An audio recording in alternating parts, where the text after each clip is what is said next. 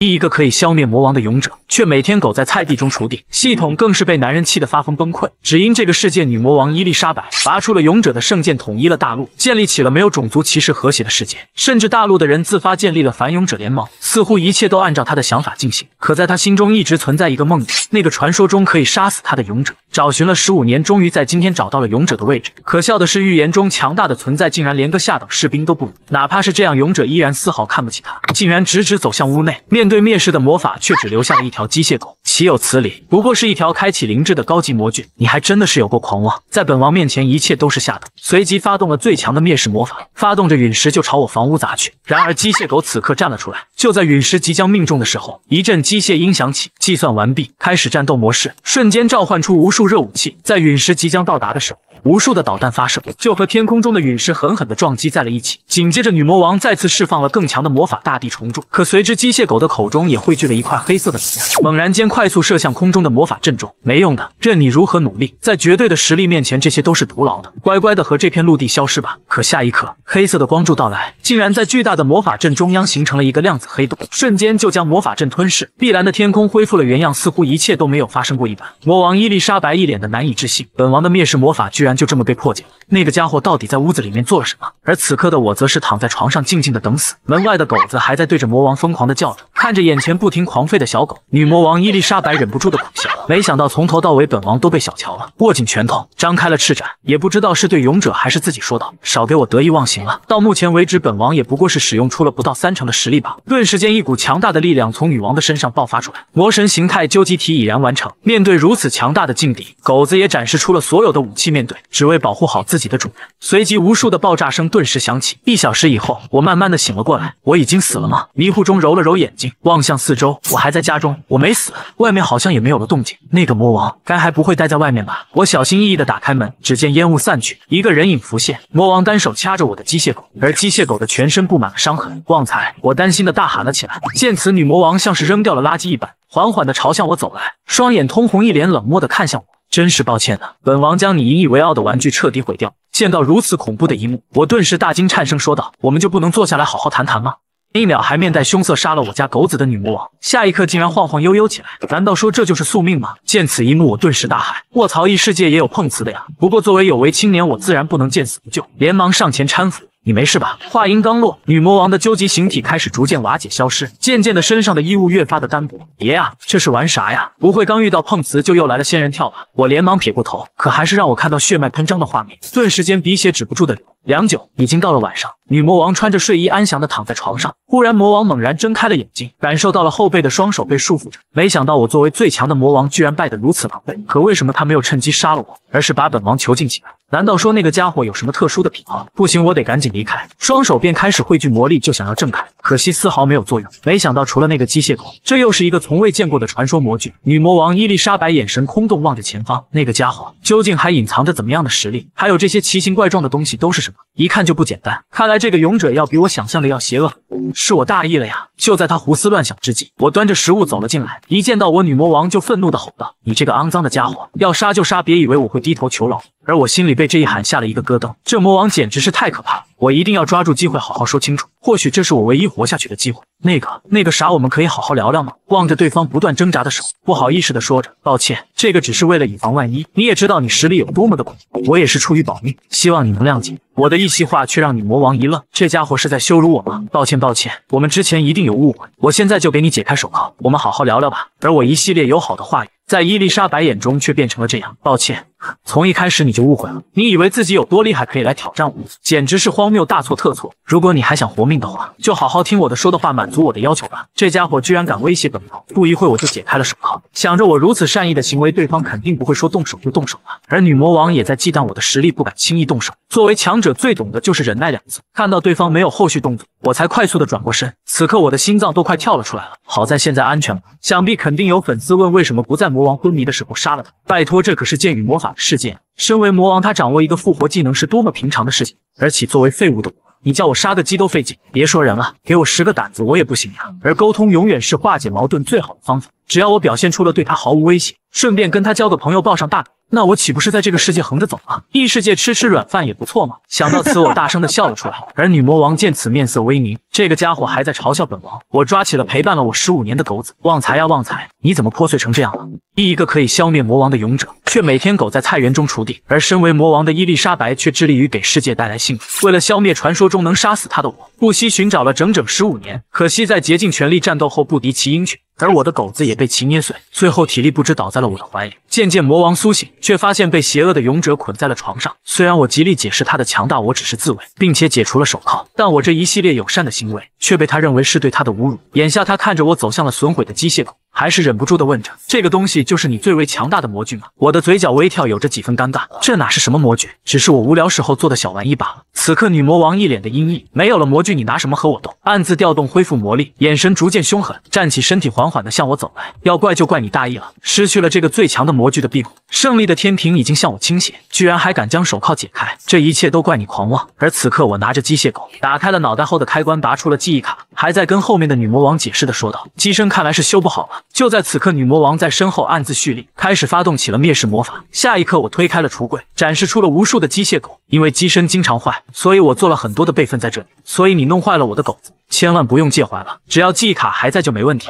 顿时间，突如其来的烧差点闪断了女魔王的腰，手中魔法消散，呆滞的看着我。我不慌不忙的拿出一个狗子，将记忆卡安装进去了。开机后，很快一个活蹦乱跳的狗子就出现在我的面前，而我则是一脸和善的看着女魔王。这下我不找她陪狗子，她应该不会找我麻烦了吧？而我和善的微笑却在她的眼中犹如逗人玩乐的恶魔，和她的爪牙在无声的威胁，吓得她扑通一声坐在了床上。忽然一股香味传来，破罐子破摔的女魔王干脆问道：“这是什么味道？”我连忙回答：“这。”是看你晕倒了后，给你做了一些暖身子的食物。说着就端来了一碗普通的肉粥和饺子。哈，弱者才需要食物，本王早已经超脱境界，不需要这些东西。可经历了刚才的大战，加上魔力还没有恢复，闻着这股味道，肚子不争气的咕噜了起来。听此，我大喜正愁找不到解决我俩恩怨的方法。老话常说，吃人嘴软，拿人手短，连忙就推销起来。女魔王也半推半就的开始品尝，缓缓的将一个带着光亮的饺子放进了嘴里，脸上面无表情。我见到此幕，心中也不安了起来。虽然我做的很好吃，不过他毕竟是魔王，什么好吃的没吃过。女魔王没有理会我，紧接着一个接着一个，一口接着一口吃了起来，不足片刻，盘子都空了，他才露出十分满足的表情，眼中甚至有泪花飘过，口中更是蕴含了大量的高浓度魔力。就算吃遍了世间极品的魔王，也没吃过如此美味，这也太好吃了，这让本王如何舍得吞下这最后一口啊！伴随着吞咽，一股奇异的感觉忽然浮现，女魔王顿时瞳孔睁大，心脏更是狂跳。此刻她快喷涌了，如此奇妙的味道在她全身翻涌，强大的魔力裹挟着她的身体发热，这是她从未有过的体验。女魔王忍不住浑身颤抖了起来，你究竟在食物里面加了什么？见此，我都快把手。吞下去了，这又是在玩哪一出呀？加了什么？我不过就加了一点辣椒啊！你怎么反应这么大呀？女魔王此刻满脸的羞红，果然你没安什么好心，你这个邪恶的勇者囚禁本王，就是想我给你做实验吧？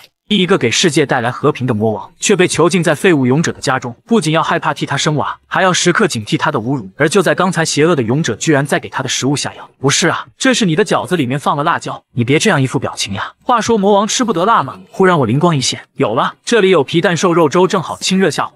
你快来尝尝！女魔王一脸的羞愤，这个邪恶的勇者一边投毒一边给我解药，把本王玩弄于股掌之中。没办法，现在这股奇怪的感觉简直是太难受了。可恶！不过他还是老老实实的端起了粥，缓缓的递到了嘴边。下一刻，猛然间睁大了眼睛，这是非一般的感觉，就像是猛然间被送上了云霄，转而化身一滴水融入了大海。如此刺激又让人平和，什么统治世界，什么勇者魔王，一切的纷扰仿佛和我无关一般。此刻女魔王才发现放下一切，轻松自在才是最好的选择。忽然心灵的感悟一下就让她突破了境界，俨然变成了三星魔王。女魔王诧异的看着双手，没想到仅仅只是通过食物就能将本王数百年没有通过的境界突破，于是望向我，别装了，你究竟想要做什么？我也有了几分诧异，什么情况，居然和我主动说话了？于是赶快将心中的想法说出，我就是说魔王和勇者能不能尝试共存？听此，女魔王心中冷哼，果然如此，这才是你的目的。而我在他的心中已经变成了这个样子，这个世界就只有你有资格作为我的对手。来吧，我帮你变强，再来击败我吧。而我看到他那越发凌厉的目光，犹犹豫豫的说着：“我会继续给你做好吃的，侍奉你的。”可我越是这样，魔王越是愤怒，觉得我是在嘲讽他，脸上的青筋暴起，就想将我这个邪恶的勇者杀掉。可惜硬实力不足，叹了一口气，释然了几分。算了算了，什么算了？好端端的叹气，是不是还是要杀了我？忽然，女魔王爬向了床，居高临下的指着我：“勇者，你给我听好了，我可以答应你的条件，但是也请你明白，本王并不是因为惧怕你，而是为了追求实力的巅峰。”我顿时汗水直冒，这女魔头到底是女魔头，说的话真让人费解。算了，你是魔王，你说了算。忽然，女魔王释放出了无穷的魔力，威胁的说道：“别以为本王住在你这里就会对你低声下气，本王的威严绝对不允许被侵犯，否则就算拼尽全部，我都要杀了你。”这是女魔王要和我和平相处的说法吗？还真是意外的傲娇啊！难不成真的被我的美食打动了？女魔王目光一凛，要做什么研究你就尽管放马过来吧。是是是，这句话我是听明白了。所以，女王大人，你想吃什么呀？而在外的圣剑见此一阵无语。很快，一年时间过去了，我拿着圣剑劈砍起了柴火，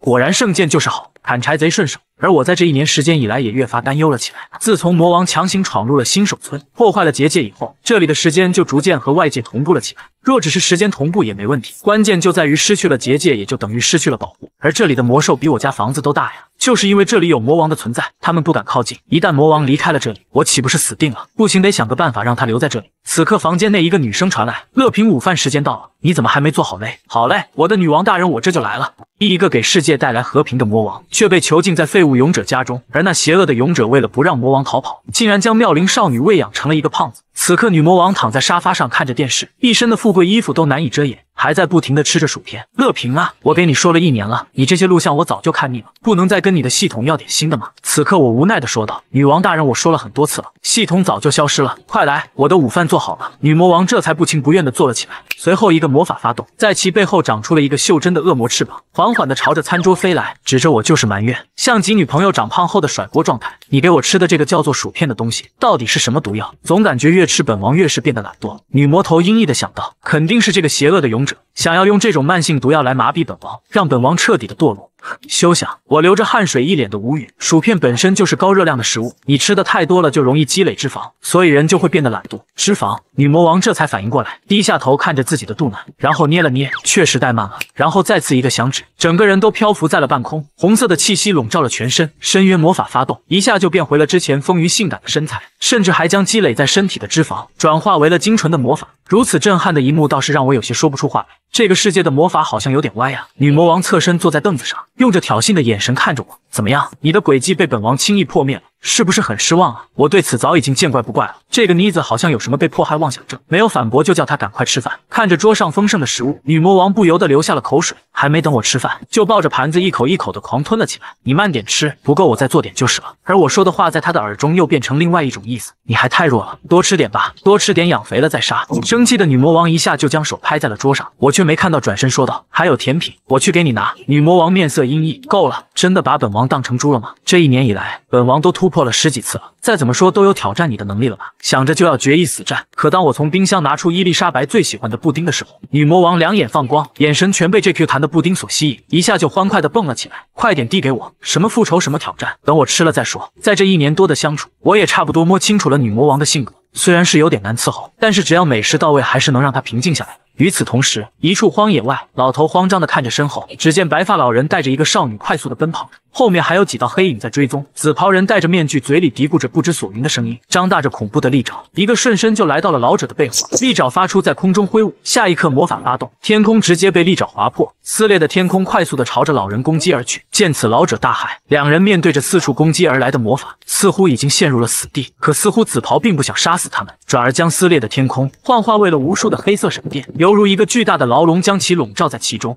一个可以消灭魔王的勇者，却每天苟在菜地中锄地；而身为魔王的伊丽莎白，却致力于给世界带来幸福。当她寻找了勇者后，却被邪恶的勇者囚禁。眼看女魔王都要怀孕了，可忽然却来了两个不速之客。就在刚刚，一老一少被怪物所追赶，在逃跑时候却被一个巨大的闪电牢笼所笼罩。此刻已经到了生死存亡之际，老者举起巨剑反抗，面色凝重的让女儿逃跑，自己留在后面拖住他们。可纵使是满身伤痕，少女伊利弗也不愿意丢下自己的父亲，自己苟活。老者眼神凌厉的注视着怪物，头也不转的温柔的喊着女儿听话。可怪物似乎并不想饶了他们，一个巨大的黑色火球在手中凝聚，下一刻就要对其发动攻击。老者也知道，眼下已经过了最佳的逃跑时间了，必须速战速决，使出最强的招式，才能有活下去的机会。下一刻，滔天的剑势划出，一道金色的剑气朝着火焰砍去。下一刻，火球连同紫袍怪人一下就被一分为二了。火焰散去，紫袍怪人化为两半，从空中落下。另一个同伙见此，单手一挥，原本裂为两半的身体快速被其吸收。片刻后，在其脑袋处竟然缓缓生成了一个头颅，显得是如此的诡异和狰狞，嘴里还发出难以言喻的怪叫。少女伊利芙看见父亲力竭，立刻发动魔法剑士。下一刻，青色的魔法剑士猛然间穿透紫袍怪物，却丝毫没有伤害。老者举剑凝重地注视着眼前，女儿，快跑！黑暗公会的使徒不是你能对付的。快走，趁现在我还能拖住他们。话音刚落，怪物匍匐在地上，用着充满力量的双臂发劲，下一刻如同脱弦的弓箭，而原本坚硬的地面瞬间破裂，仅仅只是一个眨眼，就来到了老者面前，挥舞着巨大的拳头，当的一声就被击飞数十米之远，猛然间撞到巨石前，才停止了前进。此刻老者全身骨骼断裂，口吐鲜血，少女悲伤的大喊着父亲。老者艰难的张开嘴，喊着远处的女儿快逃，眼下自己还没死。女儿就还有一线生机，只要他们靠近，或许自己还有机会。下一刻，一个黑影来到了怪物的身后，原来又是一个紫袍怪人，吸收起来了怪物的身体，再次进行融合，转眼间变成了三个头颅的怪物。此刻已经是最强体了，他们黑暗协会的人可不会给敌人一点点希望，哪怕是眼前的两人此刻弱得不堪一击，但我们可不是那些没脑子的反派。见此，老者终于失去了斗志，少女伊利弗大喊，对着怪物：“我跟你们回去，你们的目标不就是我吗？请你们放过我父亲吧。”可为时已晚，他们接到的命令是消灭。少女瞳孔收缩，看着死。亡的到来，只见怪物挥舞着巨大的双手，手中魔法萦绕，就要给眼前两人死亡一击。可下一刻，一个巨大的物体落下，溅起了无尽的扬尘。少女十分费劲的在沙暴中睁开眼睛，可却看到了比之刚才还让人惊恐的一幕。只见一个身高数百米的猛犸之王遮天蔽日，而原本刚才的怪物还不如他的脚趾盖大，一下就被碾成了粉末。而在猛犸之王头上，还隐约看到一个小阁楼。只见阁楼内，一个蛤蟆仙人正在指挥着猛犸之王，而他一脸恭敬的对着头上的东西说话：“大哥，危险已经清除了。”剩下的两个无辜的人怎么处理？而头上的东东西赫然就是旺财，禁止伤害无辜的人。我把他们带给主人处理。唯一一个可以消灭魔王的勇者，却每天苟在菜园中锄地。系统更是被男人气得发疯崩溃，只因这个世界女魔王伊丽莎白拔出了勇者的圣剑，统一了大陆，建立起了没有种族歧视、和谐的世界。甚至大陆的人自发组织建立起了反勇者联盟。可笑的是，原来最反对他的人族皇者，最后都成为了他坚定的拥护者。似乎一切都朝着魔王的想法进行着。然而有一件事一直压在女魔王的心中，在十五年以前，人族的大祭司曾经放下预言，当传说中的勇者拔出长剑，就是魔族统治结束之日，而魔王也终究会死在勇者的手上。这十五年以来，女魔王都在寻找勇者的踪迹，并且想要杀掉他，发动了一切可行动的力量寻找勇者，可都没有得到一丝一毫勇者的信息。而就在今天，实在是忍不住的魔王踏上了插着圣剑的高台。区区勇者，本王参透了勇者大陆的所有魔法，就等着他来挑战。而十五年过去了，现在这勇者居然连个人影都没有，那本王的这些准备岂不是一个笑话？我即使世界的王，既然你不想找本王，那就我来找你好了。刹那间，无穷的力量涌现出来，在这狂暴的力量下，魔王丝毫没有惧怕，反而迸发出比圣剑更为强大的力量。这股强大气势压得众人喘不过气。而当伴随着这股强大力量直冲云霄后，圣剑赫然出现在女魔王的手里。伊丽莎白表情冷淡地看着长剑，呵呵，谁说只有传说中勇者才能拔出来的？忽然，此刻他若有所感，一幅幅画面浮现在他的脑海中，霎时间就看到了勇者的踪迹。女魔王发出一阵苦笑，找了你十五年，没想到拔出长剑就能知道。发动着深渊魔法，便开始了传送。而此刻的新手村处，男人还在幸福的享受着田园生活，只因前世他是一个社畜，上班的途中就喜欢看看种地视频打发时间，在莫名其妙的感叹了一声“要是这样的生活真好”的时候，下一刻连带地铁扶手都进行了穿越。与刚到异世界的那份紧张不同，在系统的帮助下，我慢慢的学会了生存技能。可正当系统要结束新手教程的时候，我却死活不肯离开新手村了。这不是挺好的吗？废物的我只想在这安详的生活到死，才不想去打打杀杀灭杀魔王。而且最主要的是，在新手村有系统的结界庇护。可以让新手村完全不被外界感知到，就这样每天如同一日的经历耕田、狩猎、锻造和冥想，直到这么过去了十五年，系统终于忍不住了，心态爆炸。谁特么的能在剑与魔法的世界里面只知道种地呀？我恨呀！在他祝福我早日被大魔王杀死之后就消失了。然而我却并没有慌张，毕竟这系统什么用都没有，而且耳边还少了一个一直蛊惑我出去送死的家伙。反而莫名的舒坦了不少。然后就在此刻，天空中雷电交加，黑云笼罩在了上空，一股可怕的威能出现。魔王伊丽莎白骇然出现在了我的面前。传说中的勇者，我终于找到你了。然而令魔王意外的是，我压根没看到魔王，只知道要下雨了，连忙跑回去收衣服和晾好的小鱼干。见此，魔王摆了半天 pose 之后也一阵无语。男人刚刚将东西收拾好，松了一口气，旁边的机械宠物狗却开始了狂吠，拼命的想要向我表达危险即将到来。可是我哪里懂狗狗话呀？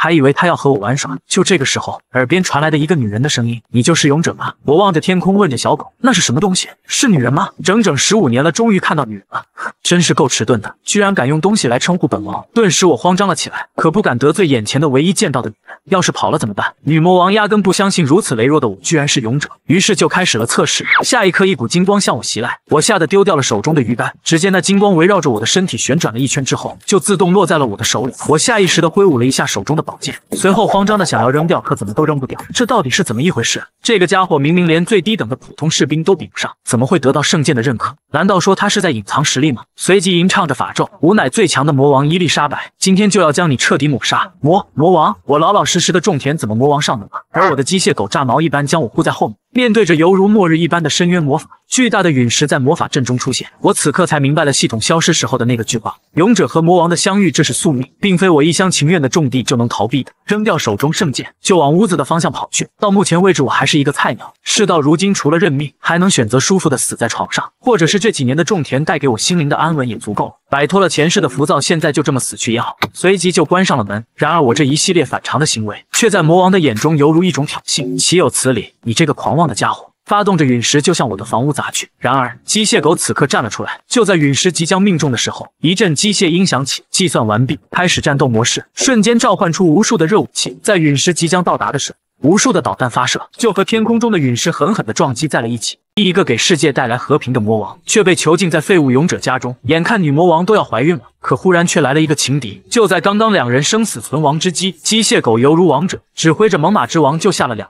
忽然，少女惊醒了，这是哪里？刚才的怪物呢？环顾四周，只见是在一个安静平和的小屋内，看着周围奇怪的家具，一时间陷入了沉思。猛然间想起了自己的父亲，父亲为了救我受了重伤，若是来不及解救，想到此就连忙起身，飞奔似的往屋外跑去。爸爸，你一定要等着我救你啊！可却看到了难以置信的一幕，只见老者秀着健硕的肌肉摆着 pose，少女顿时一脸的黑线，而勇者却是鼓着掌，一脸羡慕的看着大叔。要是练习到你这种，是要花费不少时间吧？而大叔一脸的自得，当然，作为一名战士。身体素质是最基本的，这就是异世界的战士职业吗？终于遇到一个正常的异世界人才了。而狗子看着乐平如此开心，也围着他的腿满地的跑着，看得女魔王一阵恼怒，一脚就踢向高兴奔跑的狗子，唰的一下，狗子就被踢飞数十米之远了。穿着我给他的小熊拖鞋，一步步的走向狗子。谁让你这条笨狗将闲杂人等带回来的？而狗子想起上次输给女魔王的场景，此刻委屈的嘤嘤嘤起来。乐平毫不在意，触碰了一下大叔的肌肉，哇，真材实料，这宛若钢铁一般的触感，这也太牛了！既然勇者大人喜欢，那在下也不藏着捏着。下一刻，猛然间战魂燃烧，直接将衣服撑裂。如此只有在动漫才能看到的场景，如何不让我这个异世界的废物所激动嘞？举起手欢呼起来。而完全将此幕看到的女儿再也受不了了。走到两人的面前，爸爸，你在干嘛呀？三人立刻陷入了良久的沉默。父亲尴尬的开口道：“伊利弗，你终于醒了。”此刻在他心中尴尬的想到：“女儿呀，父亲这是在讨好救命恩人呀。”乐平刚想开口解释的时候，女魔王立刻横插在两人的中间，冷漠的说道：“既然醒了，就赶紧滚吧。”居高临下的走到少女面前，一股巨大的威压袭来。我警告你，是本王先来的。而少女哪能承受女魔王的压力，此刻已然瑟瑟发抖起来。见两人此刻有些不善，我连忙上前：“那个，那个伊丽莎白呀，难得有客人来了，我们进屋里面说吧。”随即就倒着茶递到了对方的面前，指着茶水不好意思的说道：“实在是没什么好招待你的，先喝喝我泡的麦茶。”而少女也在父亲口中得知，就是他喝了眼前的茶，一下就痊愈的。仔细凝视，还能看到其中澎湃的灵气。爸爸，你就是喝了这个神奇的药水吗？听到对方这么夸奖，我也实在是不好意思的摸着头，这是一点普通的茶水罢了。这异世界的人还真没有点见识呀。而旁边的女魔王喝着果汁，一脸的愤然与委屈。这乐平抓了两个弱小的人类回来，究竟又想做什么邪恶的实验？难道说本王还不能满足你吗？而大叔也缓缓开口：“我记得当时陷入了昏迷，依稀记得先生在雏田，而狗大人将我们带到你这里后，你就拿着旁边的圣水喂给我喝，我一下就恢复全部的伤势。而也是幸亏乐平先生出手相救，恐怕我再也见不到女儿你了。”少女捧着手中的茶水，一时间也不知道该不该喝。如此珍贵的东西，我们真的可以喝吗？我摸着脑袋，不好意思的看着对方。你们冒险者说话也也真太客气了，真的不要不好意思。看我都这么说了，两人这才端起茶来一饮而尽。霎时间，两人瞳孔睁大，无数的灵气从身体里面逃逸迸发而出。两人此刻只觉得是如此的惬意，犹如躺在秋收满地金黄的麦田里面，享受着那来之灵魂的喜悦与满足。静静的躺在地上，望着大雁南飞，春去秋来，感叹着世界的变化与无常，似乎生死都不再重要，也不算白来这世界一遭。猛然间，两人直接进阶了。而恐怖的是，这不是一个小境界，而是直接跨越了一个大境界。而伊芙丽更为夸张，就连其母亲的精灵血脉都得到了提升，精灵耳朵都长了出来。两人坦然的望着世界，似乎是进入了贤者时间。看到对方如此喜欢自己泡的茶，连忙就要给对方续杯。够了，够了，乐平先生，你救我们的性命，我们都难以为报。此等神物实在不该给我们这些小奴。而我我却低下头，听出了弦外之音。对方是不是觉得我在怠慢他们呀？却是只给客人喝茶是不妥，可是那些零食饮料都被伊丽莎白霸占了呀。第一个可以消灭魔王的勇者，却每天苟在菜地中锄地；而身为魔王的伊丽莎白，却致力于给世界带来幸福。当她寻找了勇者后，却被邪恶的勇者囚禁一年。眼看女魔王都要怀孕了，可忽然却来了两个不速之客，从他们的口中却得知世界已经过去了五百年，而自己这个女魔王早已经被勇者消灭了。就在刚才，女魔王护住零食和饮料，小气的不愿意分享出来，而我还在不断的道歉，确实没有什么东西可以招待时，聊着聊着就谈起了为何两人会被追杀。说来话长呀，乐平先生你也看见了我女儿的精灵。血脉了吧？就在老头子叹息的时候，伊利芙开口道：“我母亲是精灵族的圣女，因为和我父亲相爱后就生下了我。但是精灵一族是禁止和其他人通婚的，那所以是精灵族的在追杀你吗？那玩意也不像是精灵吧？”此刻伊丽莎白不相信，胡说：“本王在一统天下之后，各种族之间的通婚禁令都被我取消了，怎么会有如此滑稽的说法？”哎，大叔微微叹息，说来话长呀。我的妻子牺牲自己重回了精灵族，其实他们已经放过我们了。这次追杀我们的是魔域那边黑暗公会的使徒。我顿时看向伊丽莎白，魔域黑暗公会。难道说是你的人？看到我的表情，伊丽莎白大怒：“你究竟是什么意思呀？”指着我就开始骂了起来。我这一年以来都在你这里，外面的事情我一点都不知道。而且这什么什么工会的到底是什么玩意？你们两个给我好好说一说，那个魔域哪来的黑暗工会？又为什么要抓精灵族？大叔一下就被这微微泄露的气息给震慑住，面色凝重地说道：“据说他们黑暗工会正在做神秘的人体研究，企图复活曾经一统天下的魔王伊丽莎白，而精灵族就是他们重要素材之一，以至于就连未觉醒精灵血脉的我都成为了其目标。”听完后，我正襟危坐地瞥了一眼伊丽莎白，都指名道姓地说你了，还说和你没有关系吗？伊丽莎白低下头，面色沉重，下一刻一把抓住了我的脖子，摇晃了起来。别以为你不说话，我就不知道你在想什么。这一年多的相处，让他们彼此之间都十分的默契，不需要对方说些什么，都能明白想要表达什么。望着踩在沙发上的伊丽莎白，我知道对方已经十分愤怒了。那个女王大人消消气，你看还有外人在场嘞，给我一个面子好。而父女俩一脸懵逼，都不知道发生了什么情况。看来这短短的一年时间，外面早已经发生了天翻地覆的变化了呀！到底是谁给你们说的魔王已经死了？听完后，大叔理所当然的说道：“难道不是这个大陆的共识吗？魔王伊丽莎白早已经消失整整五百年之久了。如果她还活着的话，早就应该回来继续统治天下才是呀！”听完这个消息，我大牙都要震惊出来。这妮子明明才在我家住了一年呀，而伊丽莎白丝毫不惊讶，时间已然五百年。只是平淡的问着：“那外界都是在说他是怎么死的吗？”嗯，根据文献记载，魔王伊丽莎白是被传说中的勇者征伐而亡的。据说那场战争打得天翻地覆，旷日持久，最后勇者为了保护大陆，和魔王一起同归于尽了。真是好大的胆子！下一刻，父女俩就感觉一下就堕入了无尽的黑暗深渊当中了。这浓浓的杀意笼罩在他们全身，让其没有一点反抗的余地。良久，伊丽莎白才开口道：“那个传闻是假的。”此言一出，直接震碎了他们的三观。从小接受的教育直接破碎。而我也接着说道：“是呀，是呀，因为我就是那个传说中的勇者。那你这什么鬼？不可能，绝对不可能！虽然不相信，但是乐平展示出的能力又让他们不得不信。对啊，而他嘛，就是你们说的那个魔王伊丽莎白。下一刻，父女俩实在是没忍住，吐。血倒下，口吐白沫。他们居然就是传说中的勇者和魔王，而我的一席话却让女魔王一脸的阴沉。在他的眼中，我说的这一席话就是为了让他们知道我们的身份，然后让那些弱小的人来嘲讽自己，嘲讽自己不但被邪恶的勇者囚禁，还被别人以为死亡。真的是够了！女魔王愤怒的拍向了桌子。你们一个个的都是在嘲讽本王吗？下一刻，气呼呼的转身就走。我明白了，你这个臭乐平，你就这些人回来就是为了羞辱本王的，简直是欺人太甚。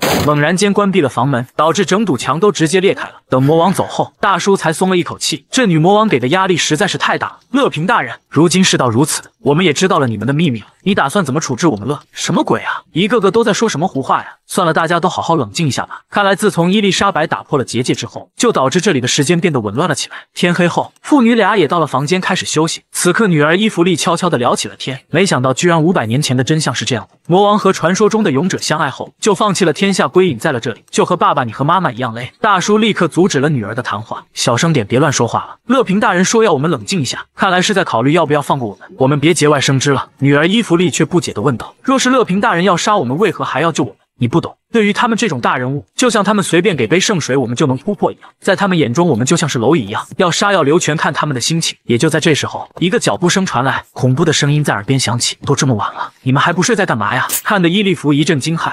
第一个给世界带来和平的女魔王，此刻却因为不速之客吃起了醋来，生气的摔门而出。而邪恶的勇者不仅不安慰魔王，还半夜摸到了敌意少女的屋内。这么晚了还没睡，嘿嘿嘿，不如我们来打牌吧。受到惊吓的老者一阵无语，吓了我一跳，就是打牌呀。话说什么叫做打牌？良久，勇者就给两人讲解完了游戏的规则。在大家都明白了之后，两人内心有着不同的想法。此刻，少女心中想到：这难道就是爸爸说的测试吗？通过了，乐平先生就不会杀我们了吗？那么好了，我们开始分牌吧。也就在这时，少女咽了一口气，死也得死个明白。感受到牌上面散发出来的不祥的气息，少女大起胆子说道：“乐平先生，这个游戏叫做什么名字？”伊利弗的问题倒是让我一时语塞，这我可该怎么解释嘞？我要是说斗地主，这异世界也没有地主这个概念呀。忽然一拍手有了，那就叫做斗恶龙吧。瞬间就将父女两人吓得不轻。斗恶龙，要知道这个世界恶龙可以算是顶尖的存在了。女魔王虽然白天摔门而出，但是看到乐平半夜摸到少女的屋内，还是用着高阶隐身魔法观察着她，也想知道这家伙到底想要做些什么。嗯，我摸着脑袋，差不多意思吧，就是两个勇者要合力把恶龙打败，而且我们可以根据手中牌的好坏来决定自己是来当恶龙还是勇者。而这一幕却更加让两人确定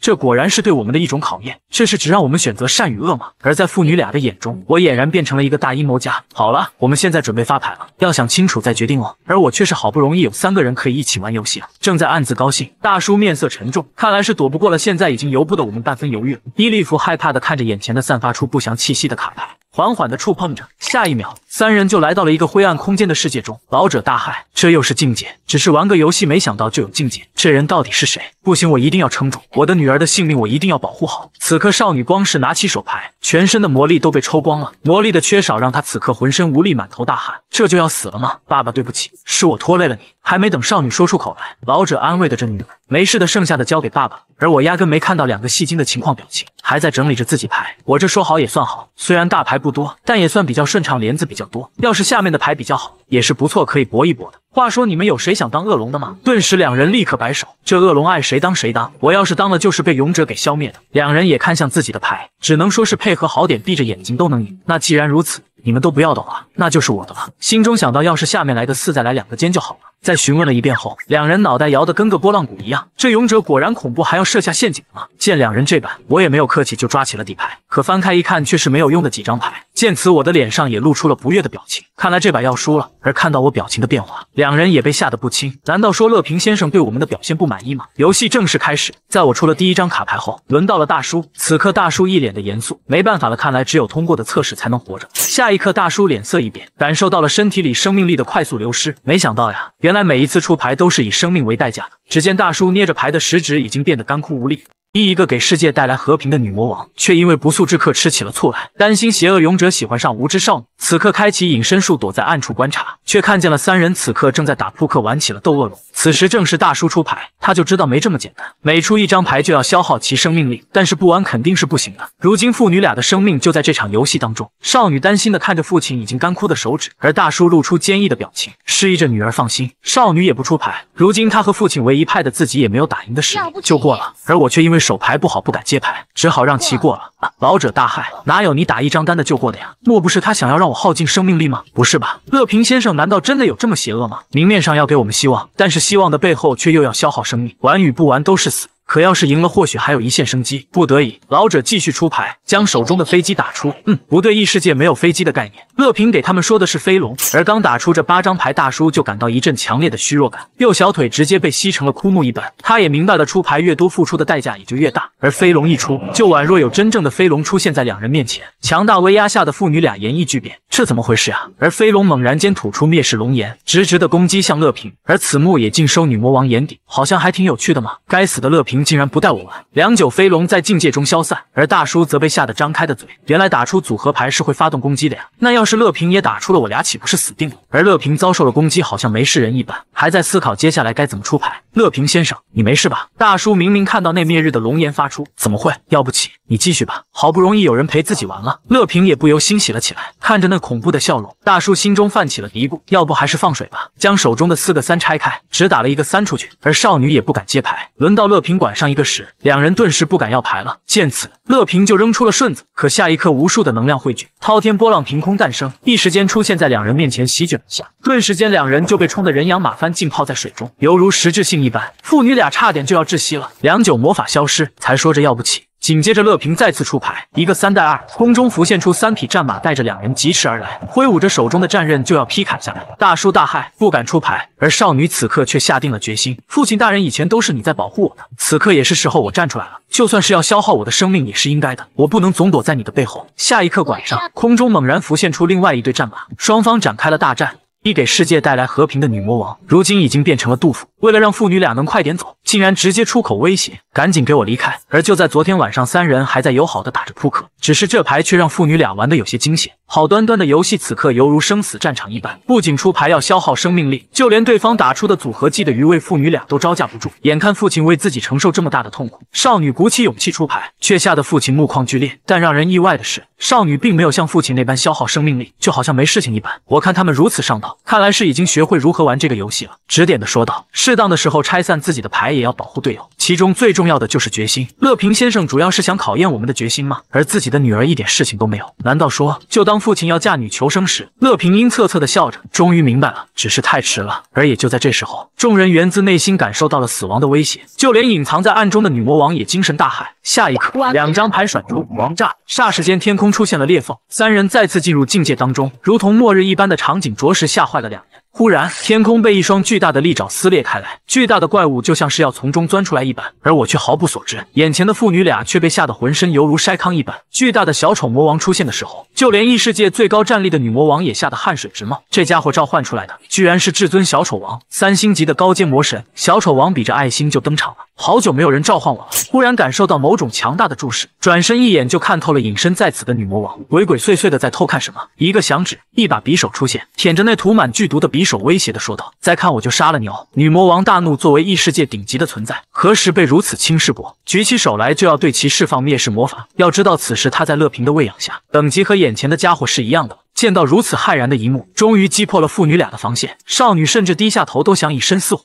可忽然，大叔狂吐鲜血，他感受到了生命力正在大量的流逝，无力感席卷全身，手中的牌也跌落下来。而这忽然来的变故也吓了我一跳，这怎么回事啊？而也就在此时，我看到了跌落下的牌，才明白了刚才大叔单出了一个三，是在让着我呀。懵懂的我还以为自己很厉害，实际上半夜来找他们，却打扰到了对方休息。再加上大叔之前就受伤了的，我真不是人啊！立刻将牌收了起来。天空中召唤出来的小丑王也瞬间消失，境界也随之破灭。将牌收好后，就起身对着两人说道：“不好意思打扰找到你们了，早点休息吧。”随即灰溜溜的就离开了。我可真不是东西啊！而如此一幕，让少女长舒了一口气。却也让她有了几分失落。不过能活下来就是好事情了。女魔王见此一幕，这才明白：好呀，你个乐平，和这两个人打牌是假吧？借机敲打我才是真的。不然为何在小丑王威胁我之后又离开了？第二天一早，四人就在庭院门口站着。大叔，这才一天时间，你们不多玩两天吗？我种的水果也快收成了。大叔哪还想留下来啊？立刻九十度鞠躬。放心吧，乐平先生，你的勇者身份，还有和女魔王的事情，我们俩出去一定是不会乱说的。少女也感激着乐平，临别还送他们礼物。我摸着头有些不好意思，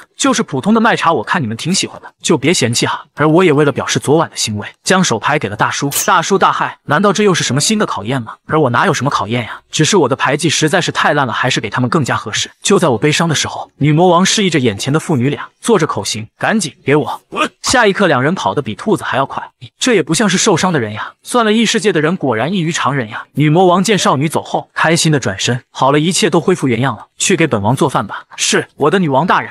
本一心拯救世界的女魔王，如今已经变成了当初她厌恶的模样。为了得到邪恶勇者的全部的爱，竟然在半夜悄悄对父女俩进行恐吓。此时，父女俩和乐平道别后，就开始了不要命的狂奔。少女都被扯得晕头转向。良久，稍微停下了脚步。此时，大叔用力的喘着粗气，显得是那么的惊恐。可为何父女俩会如此害怕？事情还得从昨晚说起。就在昨天晚上，乐平离开之后，女魔王就现身出现在父女面前。面对已经跪倒的两人，丝毫没有客气，一道魔法发出，诡异魔法能量划过了两个人的脖子。死亡的恐惧感顿时袭来，就好像被人扼住了命运的脖子一般。此时，少女的天鹅颈上出现了一个道道红色的铭文。伊丽莎白才缓缓开口：“我命令你们明天立刻离开这里，并且不得向外透露任何有关本。”王的消息，嗯，以及勇者在这里的消息。两人立刻点头，不敢有半分的迟疑。你们脖子已经被我下了咒印，但凡有半点违背我的想法，就会即刻人头落地。半晌，大叔才从昨晚的恐怖回忆醒来。勇者大人和女魔王看来是厌倦了世间的纷争，不想被人打扰啊。可我的女儿怎么办？也就在此时，少女伊利弗惊讶地看着眼前，爸爸，这个地方有些熟悉嘞。原来他们已经来到了当时狗子救他们的地方，地上还有巨象留下的恐怖脚印，多事之地啊！看来此地不宜久留。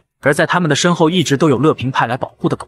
就在他俩狂奔的时候，狗子就在后面暗中保护着，看着眼前暗黑使者的遗骸还在此处，想必附近还会出现各种高阶魔物。忽然，狗子感受到有什么东西在靠近，原本想要保护一下的，可想到女魔王那个凶女人知道了又要揍他，在狗子眼中，主人已经是女魔王的狗。了，而我又是主人的狗，还是不要去找揍吧。想着就跳入了传送阵，就回到了家。也在狗子消失的那一刻，魔物降临，一群高阶魔物此时来到了父女俩面前，而此时一个被画家画了脸的人物。肯定不是一个小喽啰，正在发出结结结的怪笑。怪物的一出现，就让大叔惊声尖叫起来。那是大使徒，黑暗公会的大使徒，等级高达两星的大魔灵，还带了数不尽的高阶魔灵。要知道，大魔灵之后两个高阶进化就会成为魔王，而自己只是一个大魔师，比他们低了两个大段位。如今不是他们想不想跑的问题，就以他们此时的能力，就连自裁都是一种奢求。忽然，大叔想起了乐平临走时候送的卡牌。原来乐平先生的考验是在这里啊！决心，勇于赴死的决心。而我曾经也是我们那个村子的勇者呀！感受到了大叔的决心，卡牌释放出无穷的力量，仅仅只是散发出的气息就将小喽啰消灭了。顿时，大魔灵大喊：“女儿，看着父亲！自从你妈妈回到了精灵部落之后，爸爸我就变成了懦夫。我曾经在心中给自己说，那都是为了保护你，所以我才会如此唯唯诺诺的。今天爸爸明白了，逃避是解决不了任何问题的。有问题就去解决，有困难就去克服。